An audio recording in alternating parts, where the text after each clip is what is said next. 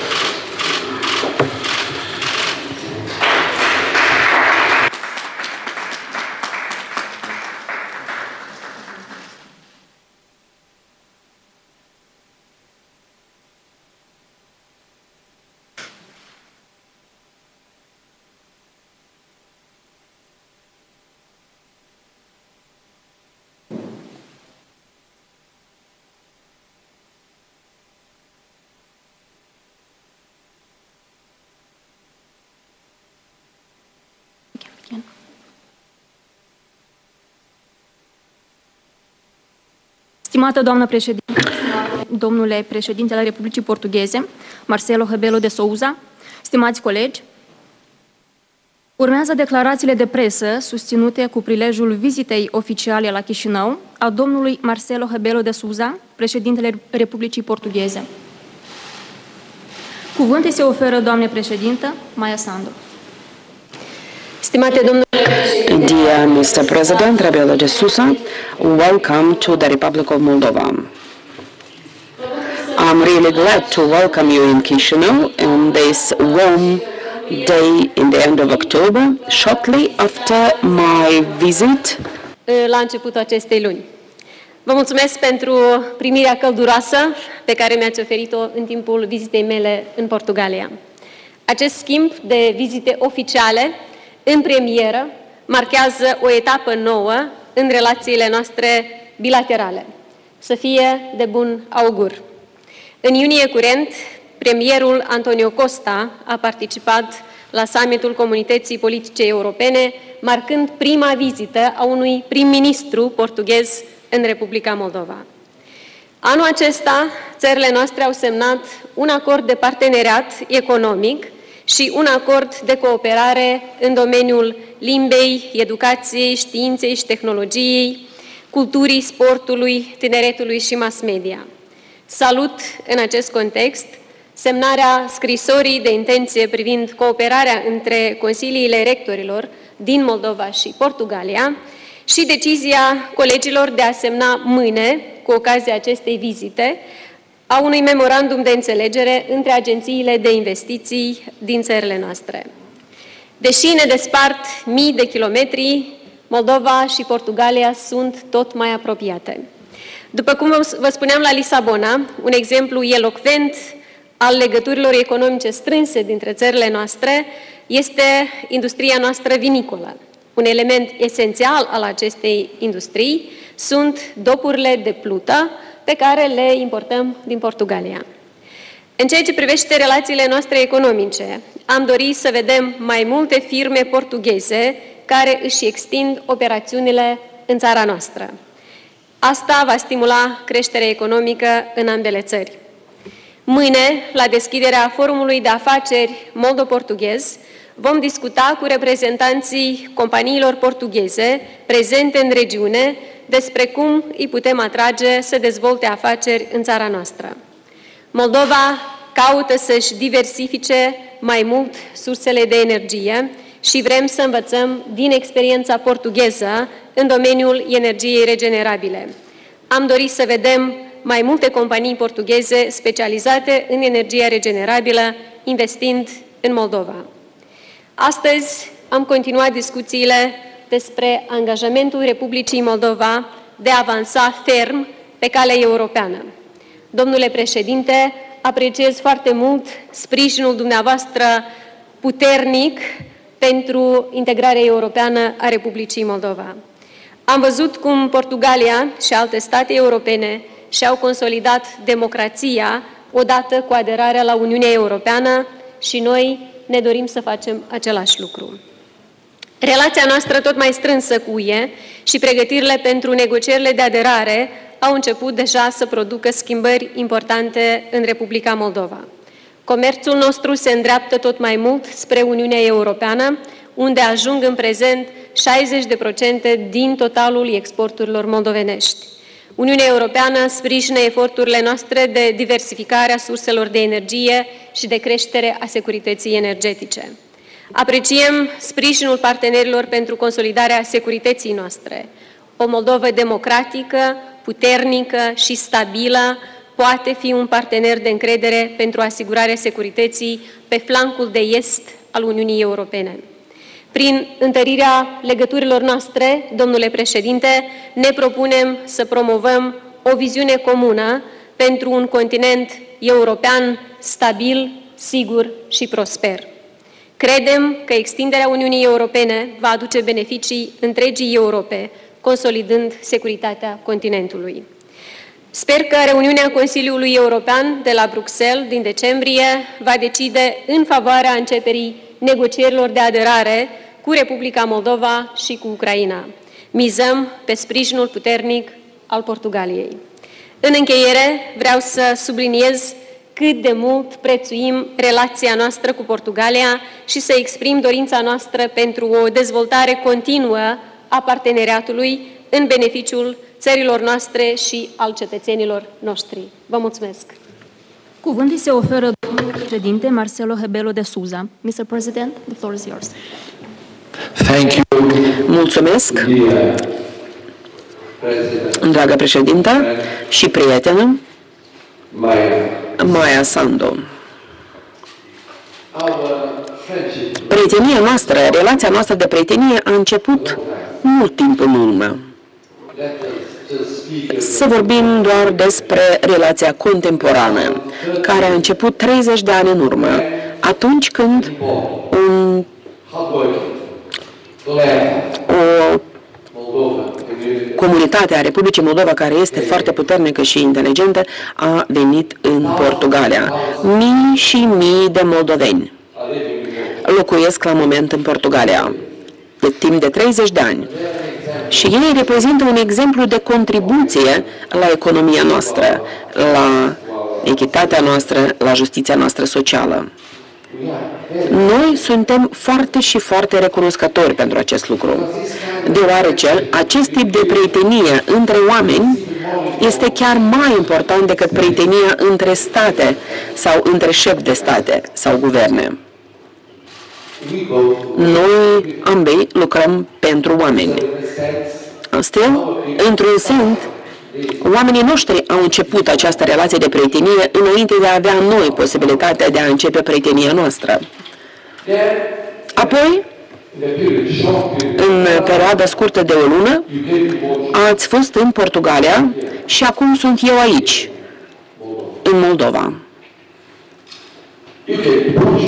Ați venit în Portugalia și vizita dumneavoastră a fost una de succes a fost de succes deoarece noi am putut vedea nu doar o, o președintă foarte impresionantă și extraordinară, dar la fel un stat care luptă pentru democrație, care luptă pentru drepturile omului, care luptă pentru supremația legii, care luptă pentru ceea ce este atât de important de a avea aici, în, pe continentul nostru comun, și anume pace și securitate. Pace și securitatea sunt realizabile doar având democrație, pluralism, libertate și stat de drept.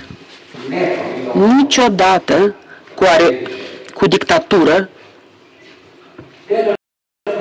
și apoi, desigur că a mai fost de succes deoarece noi am început o cale, un drum, un drum important în cooperarea noastră. Cooperarea politică, diplomatică, dar la fel și economică. La fel cooperare în domeniul educației și respectiv cooperare științifică și tehnologică. Și toate aceste lucruri sunt extrem de importante, deoarece democrația presupune și are nevoie de dezvoltare durabilă și justiție socială. Și acesta este scopul nostru comun. Respectiv, iată-ne aici, în mai puțin de o lună, după vizita de succes a dumneavoastră, când deja avem rezultate. În politică, oamenii cred doar atunci când politicienii arată rezultate, livrează rezultate. Discursurile nu sunt suficiente. Noi am promis la Lisabona cooperare economică. Iată-ne aici, semnând mâine un acord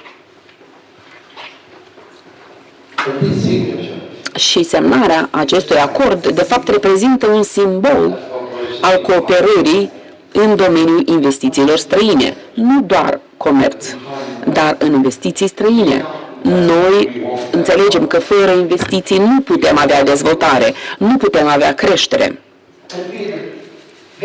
Și uh, cu idei foarte specifice în domenii în care Portugalia a dat dovadă că este capabilă să-și îndeplinească, să-și onoreze angajamentele. Domeniul energetic. Noi am început pe calea noastră în domeniul regenerabililor și a energiei curate practic 30 de ani în urmă. Și noi suntem destul de avansați în acest sens. Și unii oameni ne numesc nebuni. De ce? De ce investiți nu în energia nucleară, nu în cărbune sau de ce nu așteptați încă o leacă? Nu, noi am început. Și noi niciodată nu am cedat. Am știut costurile, dar știam de ce facem acest lucru. Acum, majoritatea electricității noastre vine din aceste surse verzi de energie. 60 de procente. Ulterior va fi 80 și o să ajungem și la 100 de procente până în 2030.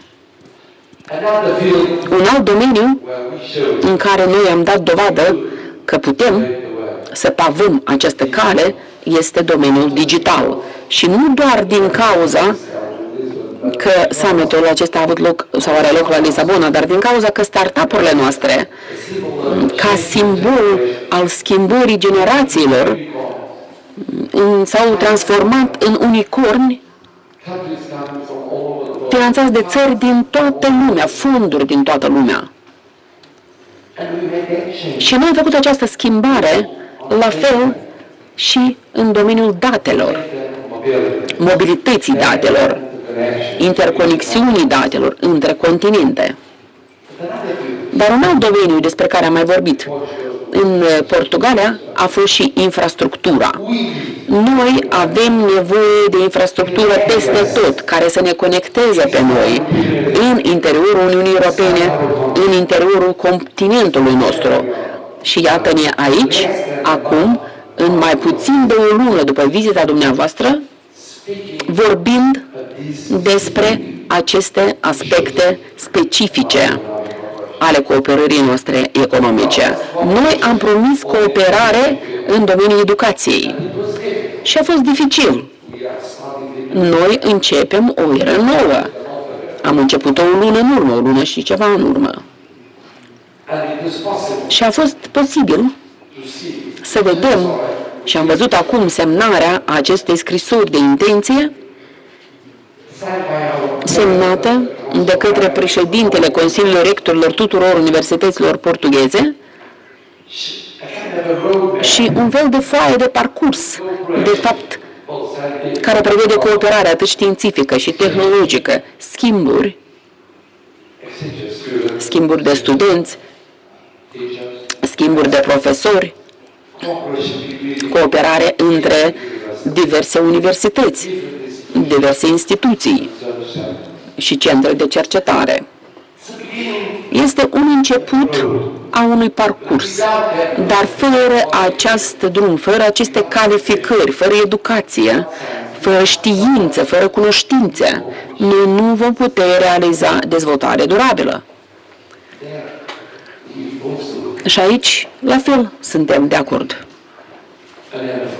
Și apoi, desigur, am vorbit și despre cooperare politică și diplomatică. Și aici suntem pentru a reafirma sprijinul nostru pentru calea dumneavoastră privind aderarea la Uniunea Europeană. Dumneavoastră doriți? Noi dorim. Dumneavoastră ați devenit stat candidat un an în urmă. Foarte repede. Sperăm deja să vedem această decizie cu implicarea Republicii Moldova, care să însemne că Uniunea Europeană dorește dorește să o aibă pe Republica Moldova ca stat membru evident după îndeplinirea cerințelor la care lucrați deja. Noi lucrăm împreună la asta în cadrul Uniunii Europene și noi vom fi gata la fel să lucrăm cu dumneavoastră împreună am în vedere Portugalia, fiindcă noi am trecut prin această experiență, ne-a schimbat viețile, ne-a consolidat democrația. Noi am avut o revoluție democratică, dar noi trebuie să consolidăm democrația noastră. Având atâtea provocări cu care ne-am confruntat în acel moment și la fel astăzi. Și este mai bine, este mai bine să te confrunți împreună, împreună cu alte state europene democratice care aparțin Uniunii Europene, că atunci comunității europene, aceasta fiind o denumire acum Uniunea Europeană. Un, oricine este mai puternic luptând pentru statul de drept, pluralism și democrație, fiind împreună. Respectiv, Dumneavoastră vă faceți munca voastră, noi o facem pe a noastră. Noi lucrăm împreună, în cazul Portugaliei, de exemplu, asupra unei schimbări de pline în peisajul nostru politic. Și noi um, vom fi siguri că această schimbare în peisajul dumneavoastră politic, economic, social, deoarece politica, fără economie și fără justiție socială, nu este suficientă. Trebuie să spun că să mai vin cu un comentariu micuț cu privire la context. Și contextul este următorul. Noi continuăm să sprijinim Ucraina și ucrainenii, dumneavoastră și noi, în această luptă a lor pentru valori și principii a dreptului internațional și a Cartei Națiunilor Unite. Integritatea teritoriului, suveranitatea statului, drepturile omului, pluralismul, democrația. Este o luptă care are loc și noi suntem cu adevărat foarte și foarte dedicați acestei lupte. Deoarece, după cum v-am spus la Lisabona, hotarele, frontierele dumneavoastră sunt ale noastre, precum și frontierele Ucrainei sunt ale noastre. Noi suntem foarte departe de dumneavoastră, sunteți aici, în aceasta, noi suntem acolo în Occident, aceeași Europa și aceeași luptă. Noi nu putem să considerăm asta ca fiind o luptă locală sau o luptă regională. Nu, este o luptă globală. Iată de ce noi întotdeauna suntem foarte îngrijorați atunci când vedem state care acționează într-o manieră nedemocratică, care încearcă să influențeze alte state sau deciziile libere ale altor state. Există un scriitor portughez bine cunoscut care a spus odată ceva care poate fi repetat de noi, noi toți în continuare. Nici o voință nu poate înlocui voința noastră. Noi suntem cei care ne alegem calea. Fără manipulări, fără intervenții hibride, fără niciun fel de influențe indirecte, fără. Depinde de noi, depinde de dumneavoastră, de toți cei care doresc, își doresc cu adevărat democrație, să aleagă în mod democratic și liber calea sa. Noi cunoaștem că atât de multe țări din lume nu împărtășesc valorile și principiile pe care le împărtășim noi. Nu există niciun motiv de acceptare uh, a înlocuirii voinței noastre, a valorilor și principiilor noastre pentru voința lor, valorile și principiile lor. Eu sunt foarte bucuros că sunt astăzi aici. Este o vizită scurtă, dar una foarte eficientă. Haideți să începem cooperarea educațională. Haideți să începem cooperarea economică. Nu doar pe hârtie, dar în realitate. Haideți să mergem mai departe cu cooperarea noastră politică și diplomatică. Haideți să mergem mai departe? Sigur.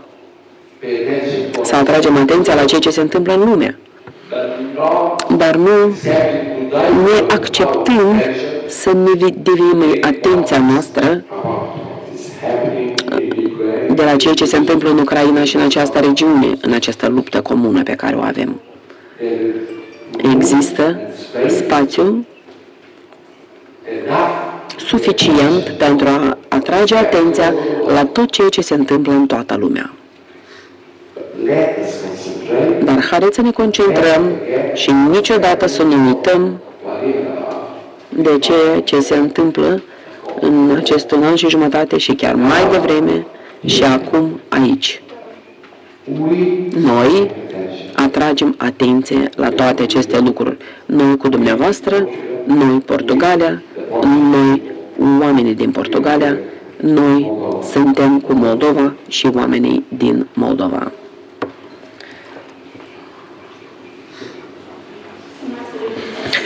Câte două întrebări pentru fiecare președinte, vă rog.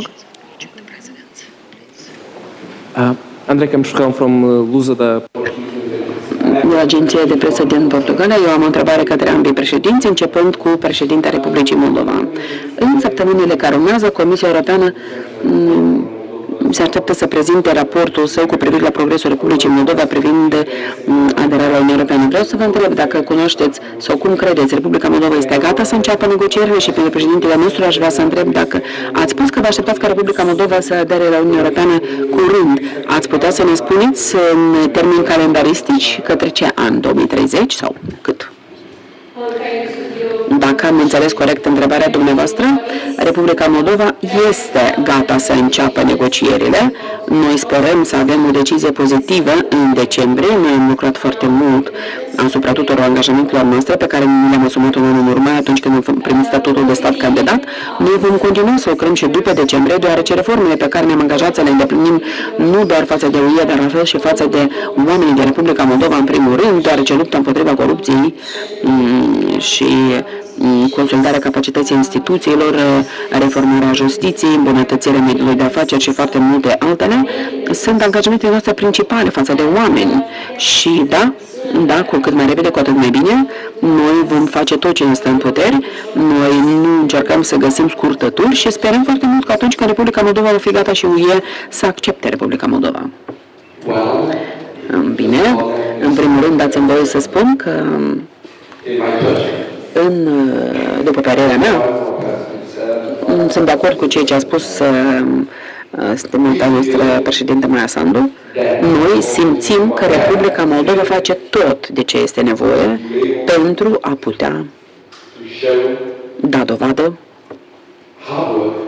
de muncă asiduă în acele domenii pe care le-am abordat și noi cu care le-am confruntat și noi câțiva ani în urmă, serviciu public, justiția, instituțional, contextul politic, instituțional, juridic, precondițiile economice, lupta împotriva corupției și așa mai departe. În ce privește calendarul de timp, eu sunt sigur că noi avem așa o zecală că ne dorim foarte, foarte mult să avem o decizie între sfârșitul anului curent și începutul anului viitor, care să spună că noi vrem Republica Moldova în interiorul Uniunii Europene. După care, desigur că urmează calea, acel parcurs pe care trebuie să treacă Republica Moldova, dacă va fi mai lung sau mai scurt, noi sigur că ne dorim să fie unul mai scurt. Dumneavoastră ați menționat anul 2030.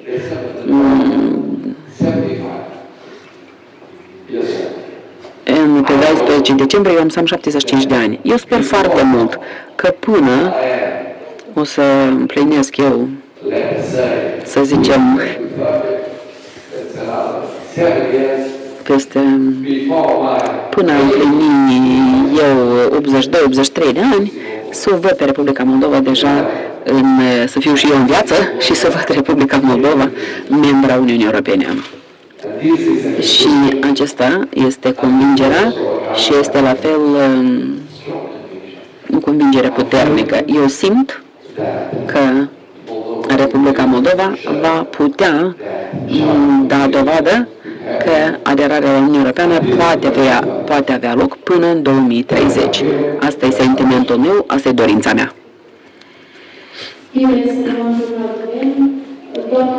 Vă așteptați în luna decembrie la o decizie pozitivă privind deschiderea negocierilor de aderare a Republicii Moldova la Uniunea Europeană și dacă cunoașteți, mai sunt țări care prezintă o anumită reticență față de aderarea Republicii Moldova la UE și cum o să-i convingeți contrariul?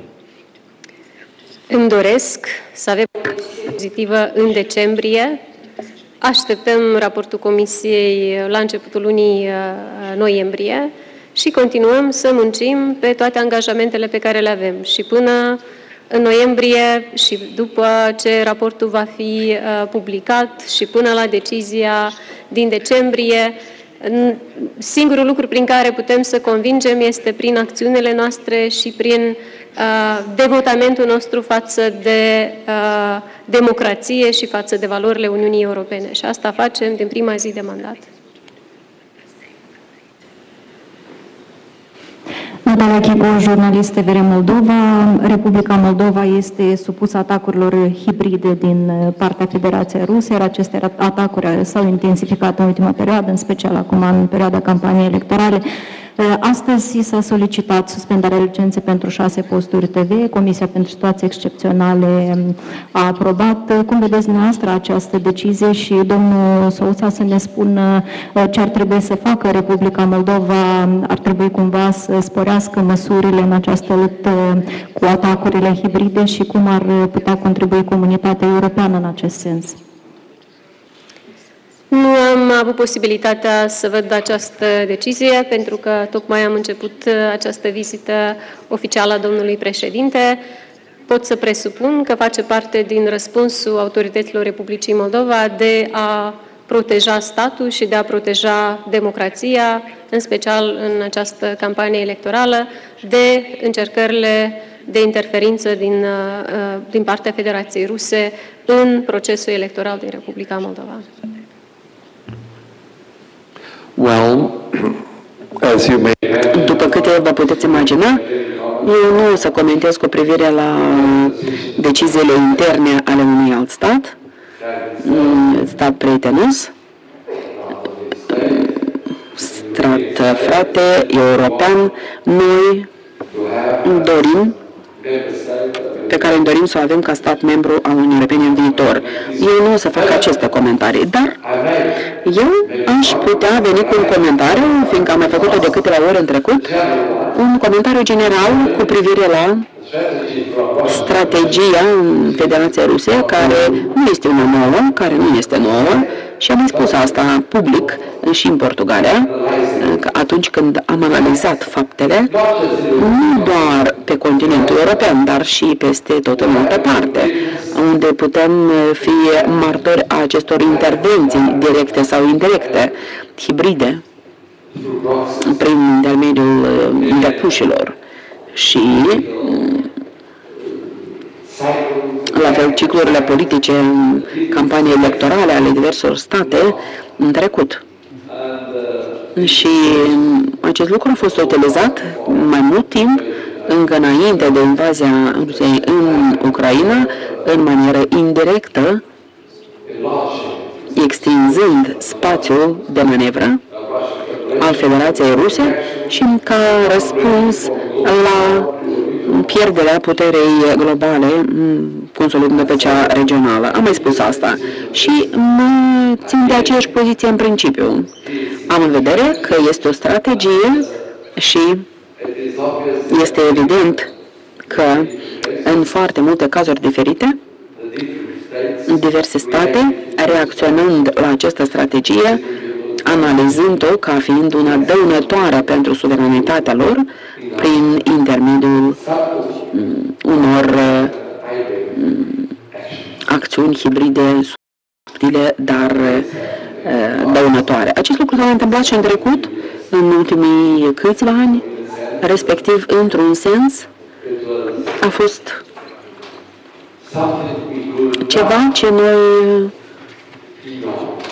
nu am putut, uh, în punct de vedere analitic, nu am putut ignora și că diverse state care au suferit, suferit în urma acestor intervenții nu puteau ignora mm, pe plan politic acest lucru. O poză comună?